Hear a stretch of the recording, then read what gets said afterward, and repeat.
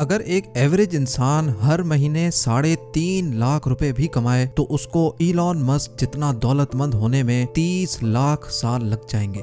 GeM TV की videos में एक बार फिर से खुश आमदीद नाजरीन, मेरी पिछली वीडियो में आपने देखा होगा कि ईलॉन मस्क ने कैसे सिर्फ़ एक ही साल में 100 बिलियन डॉलर से ज़्यादा कमाकर पूरी दुनिया को हैरान कर दिया। और बिल गेट्स को क्रॉस करके सीधा जेफ बेजोस के बराबर आकर खड़ा हो गया। ना सिर्फ़ इतना, बल्कि कई दिनों तक दुनिया के अमीर तरीन लोगों की फहरिस्त में पहला नंबर भी मेंटेन रखा। और अब, क्योंकि इलॉन मस्क और जेफ बेजोस की दौलत में सिर्फ़ एक या दो बिलियन डॉलर का ही फ़र्क है, इस वजह से इन दोनों में पहले और दूसरे नंबर की जंग चल रही है।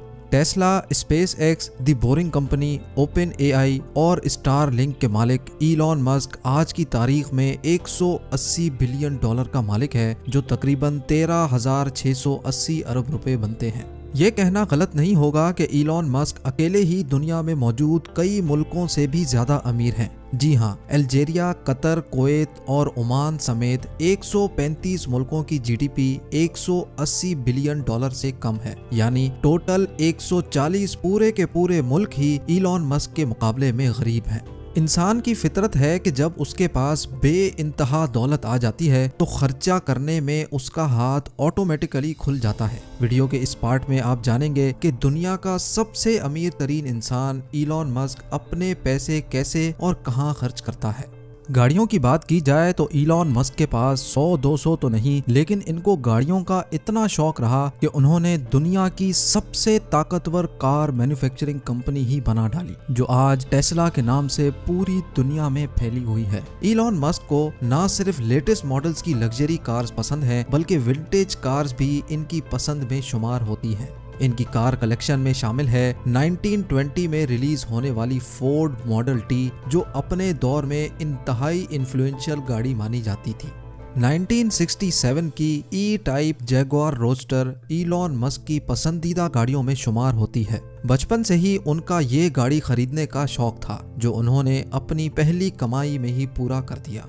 1976 मॉडल की लोटस एस्परेट जो जेम्स बॉन्ड की movie the spy who loved me में इस्तेमाल की गई थी, मूवी में ये गाड़ी एक ही बटन के ज़रिए सबमरीन में कन्वर्ट हो जाती थी। इलॉन मस्क बचपन में इस गाड़ी से बहुत मुतासर थे और 2013 में जब ये गाड़ी नीलाम होने के लिए आई तो इलॉन ने बगैर इंतज़ार किए इस गाड़ी को वन मिलियन डॉलर यानी साढ़े सात करोड़ रुपयों में खरीद लिया। लेकिन ईलॉन के मुताबिक, जब उनको मालूम पड़ा कि ये गाड़ी असल में ट्रांसफॉर्म नहीं होती तो उनको खासा दुख हुआ और उन्होंने वहीं ये फैसला किया कि इस गाड़ी को वो टेस्ला की फैक्ट्री में अपग्रेड करके इसको असल में ट्रांसफॉर्म होने वाली सबमरीन बनाएँगे।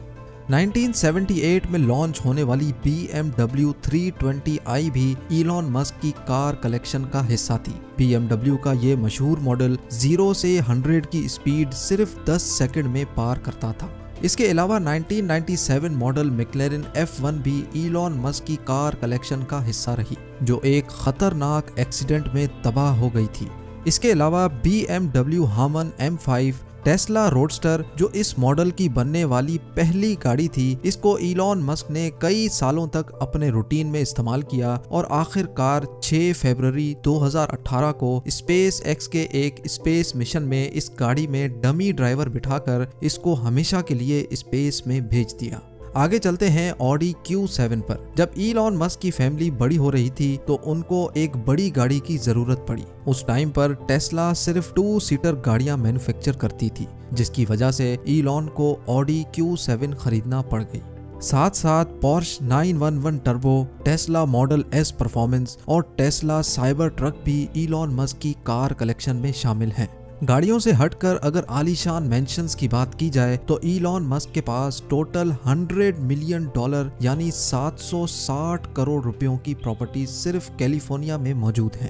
लेकिन ईलॉन दुनिया के वाहिद बिलियनर होंगे जो रेंट के घर में रहेंगे। जी हाँ ये बात ईलॉन ने 2020 में अपने एक ट्वीट में वाजे की कि वो अपने तमाम बेंगलोज और मेंशंस बेचकर रेंट के घर में रहना चाहते हैं। ये इनका प्राइमरी मेंशन है, जो लॉस एंजलिस के करीब बेल एयर में मौजूद है। इनके बिलियनर बनने के बाद वहाँ के लोग इनको तंग करने लगे और ये मामला कई दिनों तक चलता रहा। आखिरकार बात यहाँ तक पहुँच गई कि कुछ लोग इनके घर की दीवार फलांग कर अंदर भी दाखिल हो गए। उसके बाद ईलॉन मस्क ने अपने बिलियनर होने का फ़ायदा उठाया और उनके घर के आसपास के दूसरे घर भी खरीद लिए। ये 228 करोड़ रुपयों का मेंशन बीस हज़ार स्क्वायर फीट पे फैला हुआ है, जो बेल एयर के कंट्री क्लब के करीब मौजूद है, जिसमें सात bedrooms 11 bathrooms brick ceiling kitchen swimming pool tennis court और बेलेयर के खूबसूरत व्यूज़ के साथ साथ एक जिम भी मौजूद है। ये मेंशन इलॉन मस्क का वो घर है जहाँ वो ज़्यादातर रहते थे। दूसरे मेंशन की कीमत साढ़े सात करोड़ रुपए है। इस घर में भी तीन बेडरूम्स तीन बाथरूम्स और एक पूल भी मौजूद है। ईलॉन मस्क का एक इंटरव्यू में कहना था कि ये घर इनके बच्चों का प्राइवेट स्कूल हुआ करता था। खरीदे गए दूसरे दो मेंशंस भी बराबर में ही मौजूद हैं, जिनमें से एक की कीमत डेढ़ सौ करोड़ है और दूसरे की 180 करोड़। दो सालों के बाद ही ईलॉन ने उसी स्ट्रीट पर एक और डबल स्टोरी बेंगलो भी 4.2 बिलियन डॉलर यानी 32 करोड़ रुपयों में खरीद लिया। और ऐसे सिर्फ़ बेलेयर में ही ईलॉन मस्क की टोटल पाँच प्रॉपर्टीज़ हो गई और वो भी एक के साथ दूसरी। बेलेयर से हटकर अगर बात की जाए तो ईलॉन मस्क के पास सैन फ्रांसिस्को पेनसूला के करीब एक सौ साल पुराना मेंशन भी मौजूद है, जिसकी इस वक्त कीमत दो सौ पैंसठ करोड़ रुपए है। सोलह हज़ार स्क्वायर फुट पर फैले हुए इस मेंशन के पीछे बहुत बड़ी हिस्ट्री है। इस पूरे मेंशन में एक्सपेंसिव एंटीक फर्नीचर मौजूद है। साथ साथ एक मिरर्ड लिविंग रूम आलीशान बरामदा एंटीक एंट्रेंस डाइनिंग हॉल आलीशान किचन और एक आउटडोर पूल भी मौजूद है। इस मेंशन से सैन फ्रांसिस्को बे के खूबसूरत नज़ारे देखे जा सकते हैं।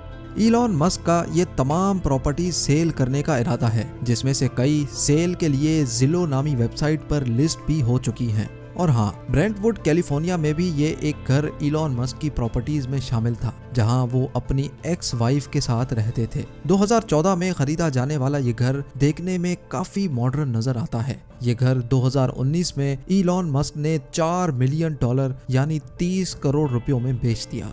हैरत की बात यह है कि इतनी ज़्यादा प्रॉपर्टीज़ होने के बावजूद भी इलॉन मस्क अपनी फैक्ट्री में ही सोफा पर सोना पसंद करते हैं। एक इंटरव्यू में उन्होंने बताया कि वो एक दिन में पंद्रह घंटे काम करते हैं। लिहाजा टाइम बचाने और अपनी फैक्ट्री में अपने सामने काम होते देखने के लिए वो ज़्यादातर अपनी फैक्ट्री में ही सोते हैं। गाड़ियों और प्रॉपर्टीज़ के अलावा इलॉन मस्क ने पार्टी और वेकेशन के लिए फैंसी यॉट्स तो नहीं रखी, लेकिन इनके पास दो प्राइवेट जेट्स ज़रूर मौजूद हैं। जी हाँ एक फैक्ट्री से दूसरी फैक्ट्री जाना हो या फिर स्पेस एक्स की रॉकेट लॉन्च पे पहुँचना हो। इलॉन मस्क टाइम बचाने के लिए नॉर्मल कमर्शियल फ्लाइट्स के बजाय प्राइवेट जेट्स में सफ़र करते हैं। सिर्फ़ टाइम नहीं, बल्कि इसमें वो काफ़ी सारा पैसा भी बचा लेते हैं, क्योंकि कमर्शियल फ्लाइट्स में रश की वजह से उनका एक मिनट भी जाया होना एक लाख नब्बे हज़ार डॉलर या एक करोड़ चालीस लाख रुपयों के बराबर है।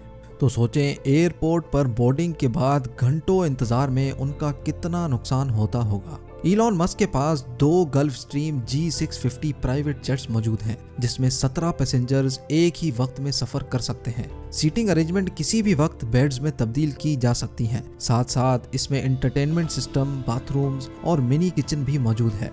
Gulfstream G six fifty की कीमत 65 मिलियन डॉलर्स है, जो 490 करोड़ रुपए बनते हैं, और ऐसे दो जहाज़ इलॉन मस्क के पास मौजूद हैं।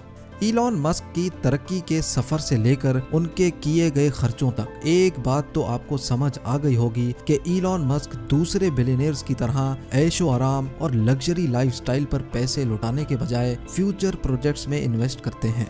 उम्मीद है इलॉन मस्क पर बनाई गई जेम टीवी की ये छोटी सी वीडियो आपके अंदर काफ़ी पॉजिटिव चेंज लाएगी। आपके प्यार भरे कमेंट्स देने का बहुत बहुत शुक्रिया। मिलते हैं अगली शानदार वीडियो में।